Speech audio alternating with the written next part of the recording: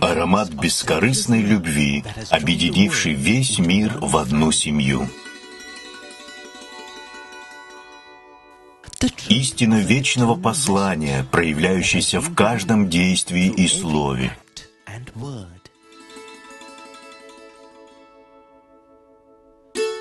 Реализация себя в служении, которому Он учил на примере неустанного самопожертвования.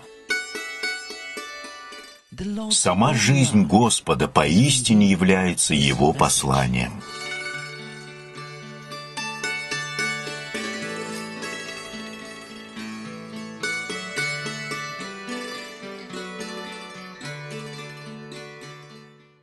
Сайрам мы рады предложить вам 19-ю серию нашего 30-серийного фильма «Послание Господа». В прошлой серии мы упоминали о том, как Сайбаба обеспечил чистой питьевой водой около двух миллионов людей, населяющих три района в штате Андхра-Прадеш, благодаря чему Прежние трудности стали для них лишь смутным воспоминанием. Сегодня мы продолжим эту тему и расскажем о снабжении питьевой водой большого количества людей, которое стало абсолютно беспрецедентным для всего мира. В частности, мы расскажем о двух проектах, снабжение питьевой водой из реки Годавари и обеспечение питьевой водой огромного города Ченная, ранее известного как Мадрас. Чинай, как мы сейчас его называем, раньше был маленькой рыбацкой деревней. В 17 веке корабли Восточно-Индийской британской компании прибыли сюда, и после переговоров британцам удалось получить здесь землю для строительства порта. Со временем, когда торговцы усилили свое влияние и превратились в колонистов, они построили здесь целый город, в котором главным сооружением стал порт Святого Георгия.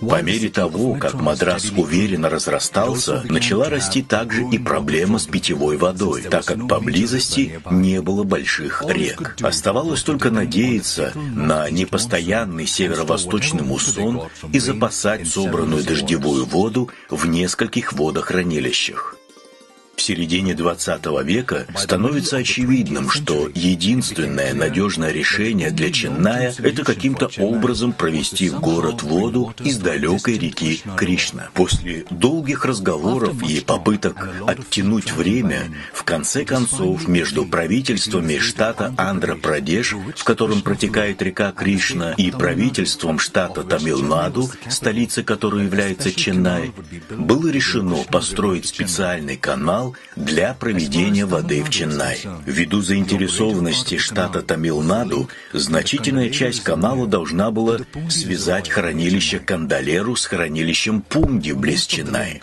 Большая часть канала, около 150 километров, должна была пролечь в Андхра-Прадеш, оставшиеся 25 километров в Тамилнаду. Правительство штата Андры согласилось построить канал до границы штата Тамилнаду. Далее строительство канала должно было продолжить правительство Тамилнаду, чтобы вода из реки Кришна поступила в Пунди. На этом и договорились. Официальное объявление о проекте, сопровождаемое громкими словами и обещаниями, было сделано в 1984 году. И лишь спустя 12 лет проект был официально начат. Измученные жаждой жители Ченная сказали, «Слава Богу, наконец-то нашим проблемам пришел конец». К сожалению, этого не произошло. Сначала воду провели через жизненно важный канал между Кандалеру и Пунди, через который предполагалось поставлять воду в Чинай, и все же он едва ли достигал города. Предполагалось, что ежегодно Тамил-Наду будет поставлять 12 миллиардов кубических футов воды. 1 миллиард кубических футов составляет около 305 миллионов кубометров воды. Однако в течение пяти лет подряд в Пунде поступало гораздо меньше воды, около одной-двух условных единиц в год, а иногда меньше одной единицы, в то время как Чинай рассчитывал получать 12. Вдобавок к этому, в эти пять лет Северо-восточный муссон также давал слишком мало воды. Неудивительно, что Чинай переживал сильнейшую недостачу воды, которой никогда еще не бывало в этом многолюдном городе. Городские власти начали поставлять воду в разные уголки на грузовиках, но этого было недостаточно. Поэтому частные поставщики развернули свой бизнес, превратив воду в коммерческий продукт, слишком дорогой для бедного населения.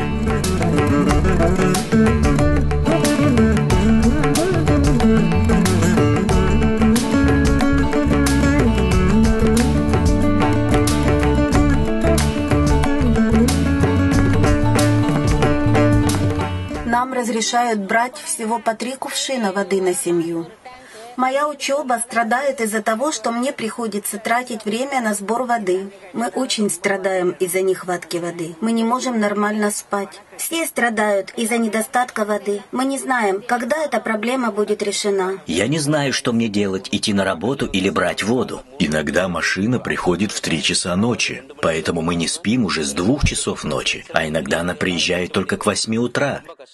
Еда, приготовленная на этой воде, вызывает боль в желудке и диарею, поэтому мы молимся с айрами о дожде.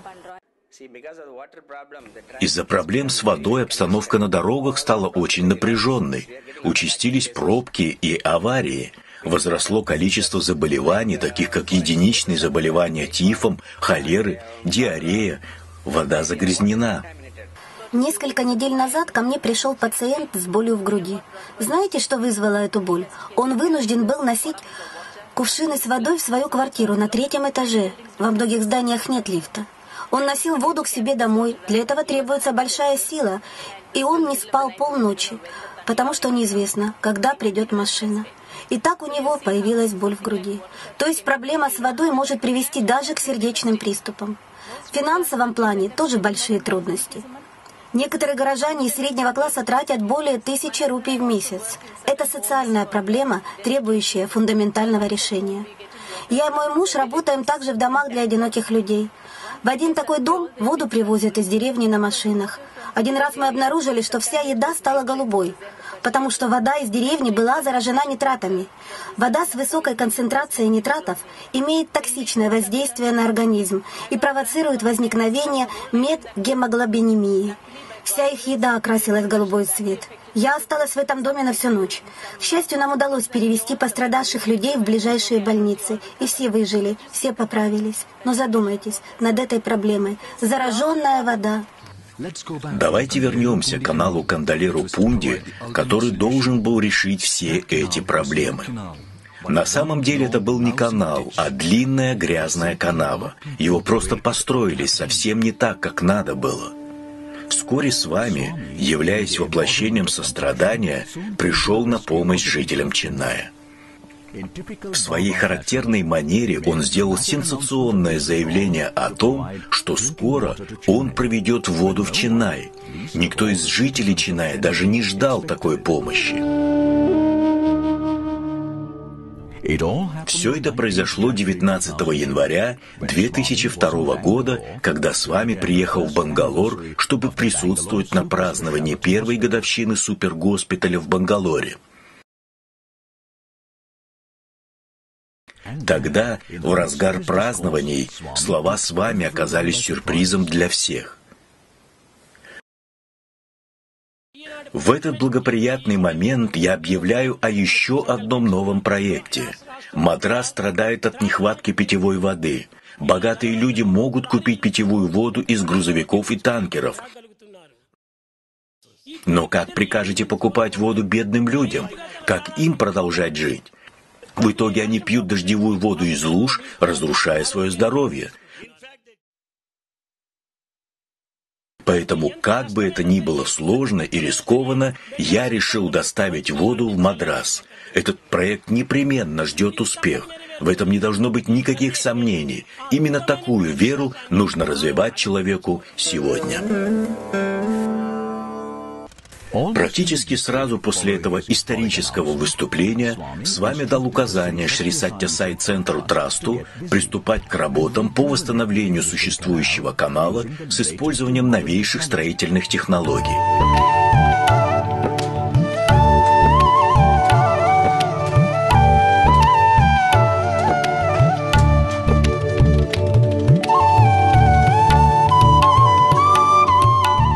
Все работы были завершены в течение одного года, и вода из реки Кришна наконец потекла в Ченнай в день рождения с вами в 2004 году.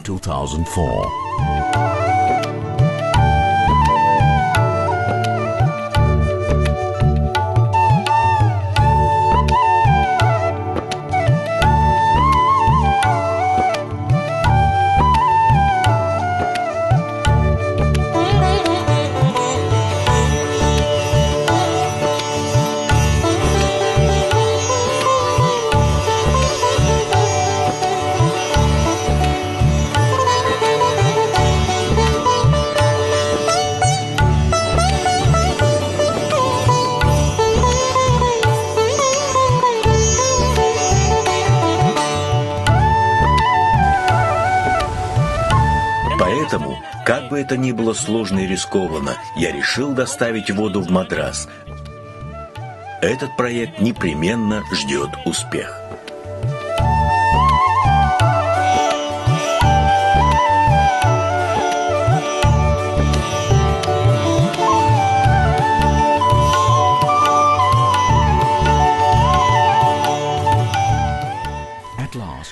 Наконец, после долгих лет ожидания, жители Ченая получили самый долгожданный подарок.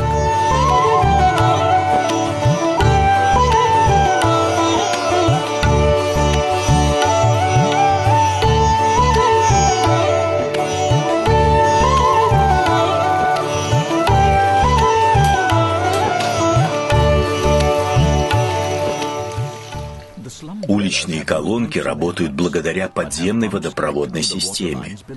Многие годы бедные люди, живущие в трущобах, находились в тяжелейших условиях.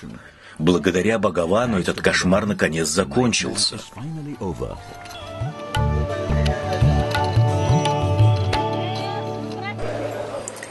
Благодаря бесконечной милости с вами и с его благословения Чиная и ближайшие районы получают воду с помощью водного проекта Сатья Сая Ганга. В результате этого количество заболеваний, передающихся через воду, значительно снизилось. Мы отмечаем, что все меньше людей страдают от болезней, передающихся через воду. Это действительно благословение для всех нас. Благодаря личной заинтересованности Бабы и его благословениям Мадрас смог получить воду. С помощью проекта Саи Ганга с вами погрузил нас всех в Према Гангу. Я приехал сюда впервые. Благодаря милости Саибабы у жителей Ченная теперь есть вода. Поэтому я благодарю Саибабу не сотни, а тысячи раз. Когда мы страдали из-за нехватки питьевой воды, Бхагаван пришел нам на помощь и создал проект Саи Ганга. Я преклоняюсь перед Бабой тысячи и тысячи раз. Никогда не нуждаясь в отдыхе, с вами начинает еще один проект по обеспечению питьевой водой. На этот раз предстояло задействовать огромную реку Годавари.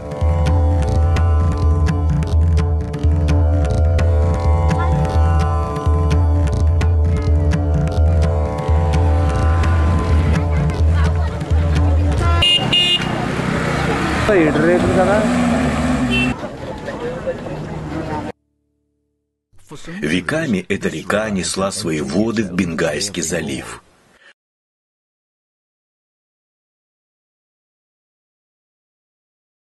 Годавари всегда была полноводной рекой. Тем не менее, люди, живущие в близлежащих поселках, в основном это племена, нуждаются в питьевой воде.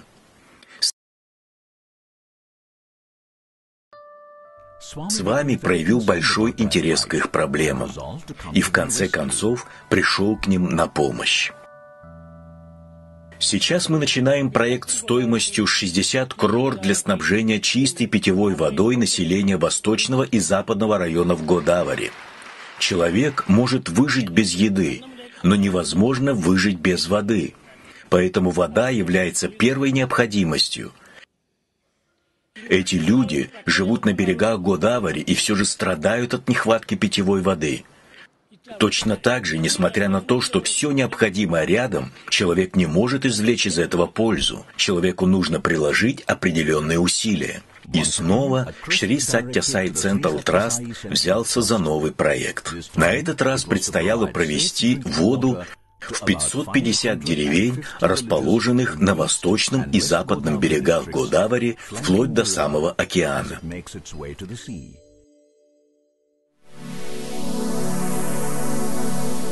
Теоретически задача была простая – провести воду от реки, очистить ее и затем распределить по деревням.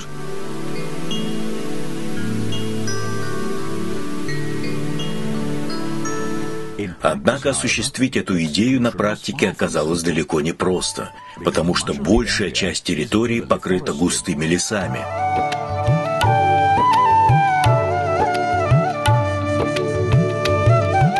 В связи с этим проект по обеспечению воды из реки Годавари должен был быть совершенно другим, чем предыдущие. Как и во всех проектах с вами, работа пошла быстро.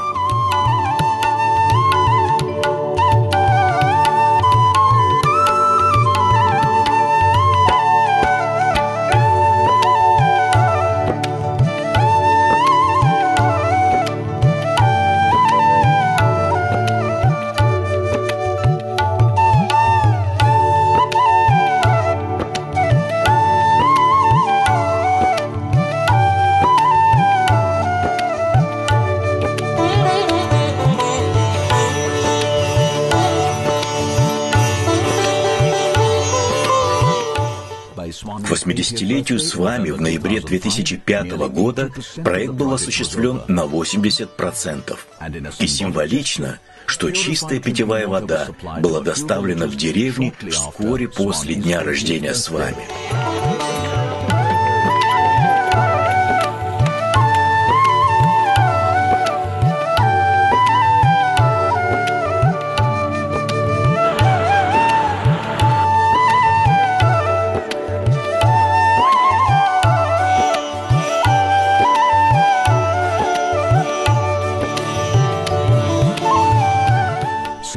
Этого момента проект по обеспечению районов реки Годавари был завершен и, как всегда, в срок. Знаете, что сделала одна деревенская женщина, когда узнала, что с вами собирается провести воду в деревне? Она выделила один акр своей земли для проекта. Раньше мы далеко ходили за водой. Теперь мы ходим только, чтобы постирать одежду. Питьевую воду теперь мы берем прямо у порога. Это то, что называется иметь большое сердце. Именно так нужно делиться друг с другом и заботиться друг о друге. С вами дал нам такую хорошую воду. Он дал нам комфорт и заботу. Разве мы можем отблагодарить с вами? А сейчас мы в другой деревне. Так эта женщина проявила свою благодарность с вами.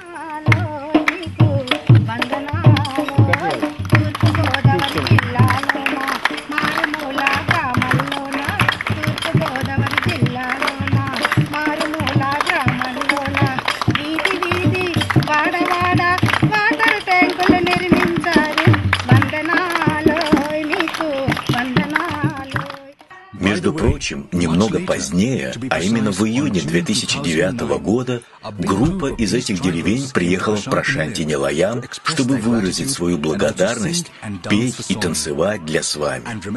Помните ту женщину, которая пела песню благодарности?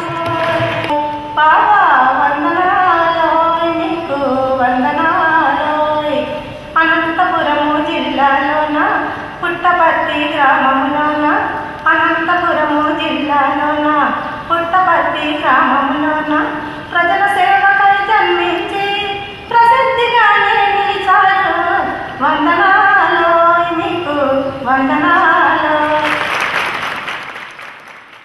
Теперь она получает цепочку от с вами. Он никогда ничего не забывает. А теперь нам хотелось бы немного обсудить проблему взаимодействия человека, Бога и воды.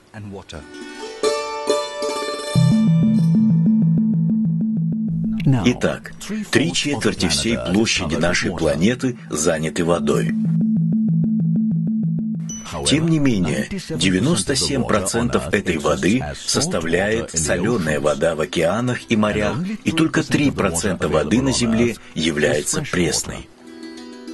Эти 3% пресной воды распределены следующим образом. Три четверти пресной воды приходится на ледники. Из оставшегося количества часть составляют пары в атмосфере, а именно 0,36%. Вода в реках и озерах также составляет небольшую часть, около 0,34%. Остальная вода находится под землей и составляет 23% от 3% всей пресной воды на планете. Пресная вода на Земле постоянно совершает свой круговорот. Ее путь начинается в океане через испарение.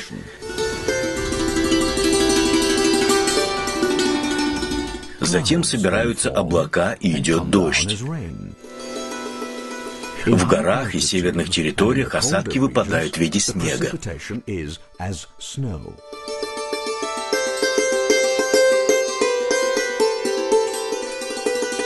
Снег тает и образуются ручьи и реки.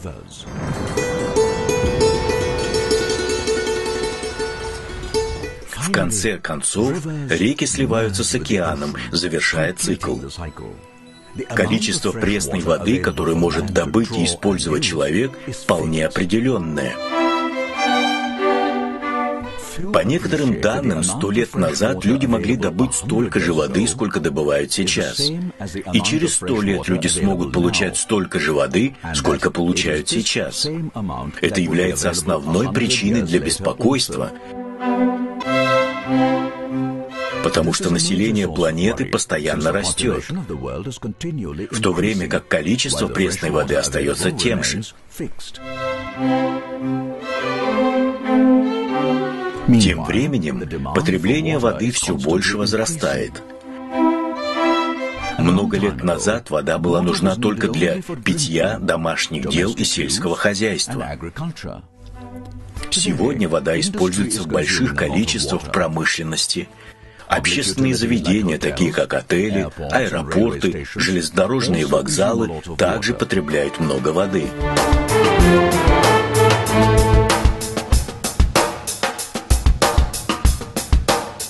Люди, имеющие доступ к воде, относятся к этому как к само собой разумеющемуся и не задумываются о ценности воды. Кстати, когда мы получаем воду, часто она используется не по назначению, только часть из нее используется. Каков же урок мы можем извлечь из водных проектов с вами? На самом деле их много. Во-первых, вода является жизненно необходимой, поэтому каждый человек должен не только бережно обращаться с водой, но также людям необходимо делиться водой друг с другом. Недопустимо, чтобы одни люди заявляли свои права на воду и вели роскошную жизнь, в то время как другие страдают из-за нехватки питьевой воды. Во-вторых, Растрачивать воду преступно. В-третьих, людям следует быть достаточно скромными и почтительными, чтобы осознать, что сострадательный Господь сделал воду всеобщим достоянием. Разве это не делает нас его должниками? Действительно, и единственный способ отдать этот долг – это делать все возможное, чтобы уменьшить проблемы с водой у тех людей, которые оказались не так удачливы, как мы. К счастью, с вами сам показал нам путь. Например, он отправляет грузовики с водой в деревни, которые не подключены к водопроводной системе Анантапура.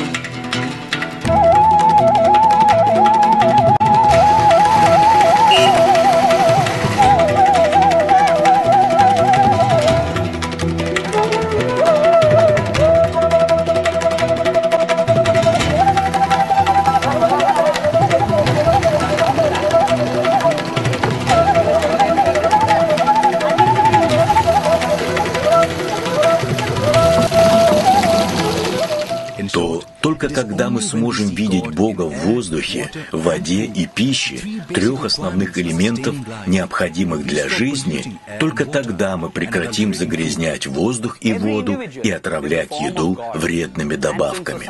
Каждый человек — это форма Бога. И так как общество является макроформой человека, значит оно также является макроформой Бога.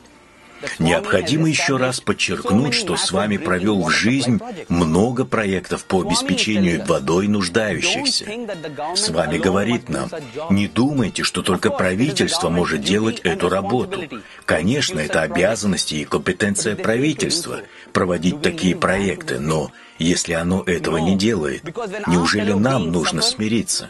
Нет, потому что если наши близкие страдают, мы тоже страдаем, ведь Бог в каждом из нас. С вами говорит, что нам не обязательно делать много проектов, но мы должны быть сострадательными и вносить свой посильный вклад. Этим посланием мы завершаем эту серию. И ждем вас к просмотру новой серии завтра. Спасибо, Джей Сайрам.